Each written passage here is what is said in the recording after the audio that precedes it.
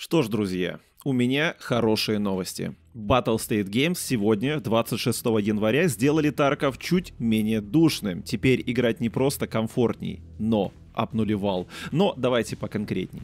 Пару дней назад англоязычный контент-мейкер Veritas выпустил ролик, в котором он перечислил некоторые изменения в Escape from Tarkov, из-за которых игроки стали больше страдать, чем получать от игры удовольствие. Несмотря на то, что Никита Васильевич Буянов неоднократно подчеркивал, что Тарков это про страдания, нельзя не отметить то, что действительно игра стала вызывать частые раздражения, когда сталкиваешься с неадекватной отдачей или тем, как твой персонаж двигается неповоротливо. Поэтому темы насчет таких аспектов игры фигурировали и ранее, однако именно сейчас разработчики решили пойти навстречу игрокам и внесли ряд изменений. Давайте по порядку. Первое. Снизили углы разброса отдачи у всего оружия. То есть визуально отдача стала не просто комфортней, она стала приятней и во многих случаях ее стало нормально контролировать. До этого изменения в плане отдачи комфортным оружием было то, у кого либо низкая скорострельность, либо благодаря модификациям низкие цифры отдачи. И скорострельное оружие, которое не обладало последним преимуществом, было неэффективным.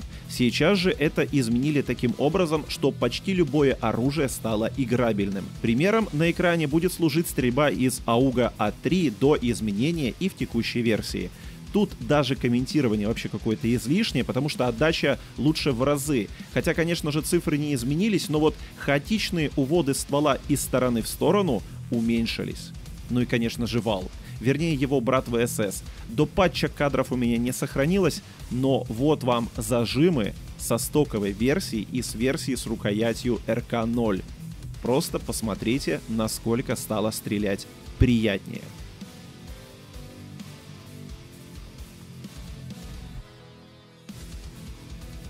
Следующее изменение. Увеличение лимитов веса для перегрузки. До патча это значение было в 21,5 кг, после 27 кг. То есть теперь можно нормально собирать в рейд снаряжение, броню, шлем, основное оружие с боекомплектом, медицину и всякое такое и не получать перегруз, то есть желтые цифры веса.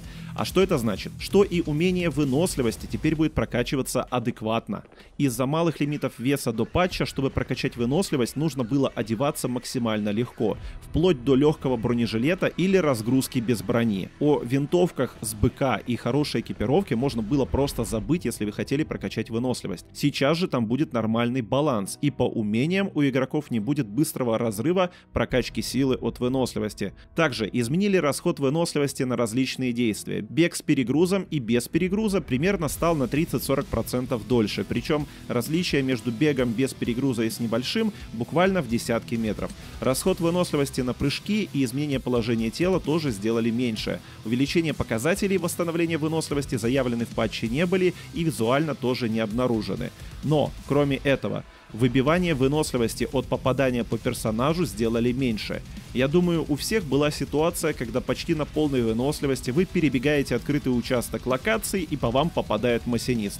Затем все, вы не можете бежать таких ситуаций станет гораздо меньше. Если вы считаете, что это плохое изменение, я вот тот самый массинист, которому очень круто, то я вам скажу, как человек, который два дня подряд ловил такие моменты, они нифига не прикольные.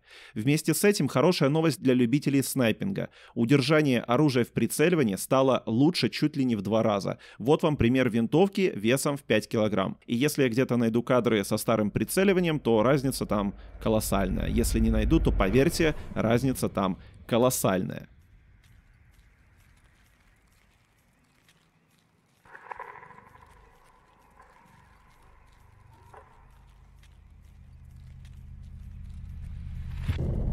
Расход энергии и воды в рейдах был уменьшен, тоже было заявлено, но тут я сравнил расход этих двух показателей между моим текущим ЧВКшником с прокачанным метаболизмом и моим диким с начала патча. Разницы почти нет. У текущего ЧВК просто лучшее умение и чуть лучше расход. Поэтому пока не знаю.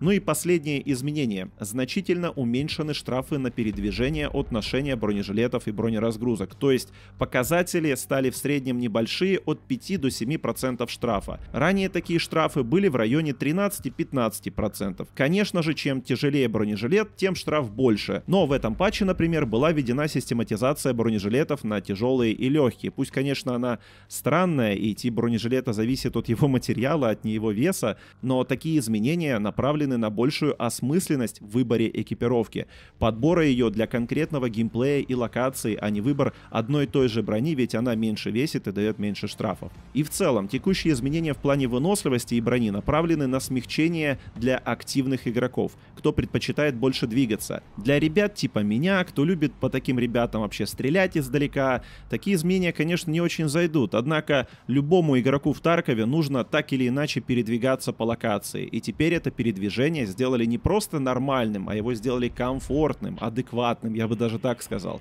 Да и целиться теперь из оружия приятно. Не по 15 секунд в прицеливании, а затем персонаж твой просто выдыхается. Ну и вот отдача. Стрелять комфортней. Можно играть со СБУ сборками. Вообще минусы будут у этих изменений. Но вот посмотрим. Нужно немного времени, игроки, разработчики посмотрят, в чем же есть эти минусы, или вообще этих минусов нет.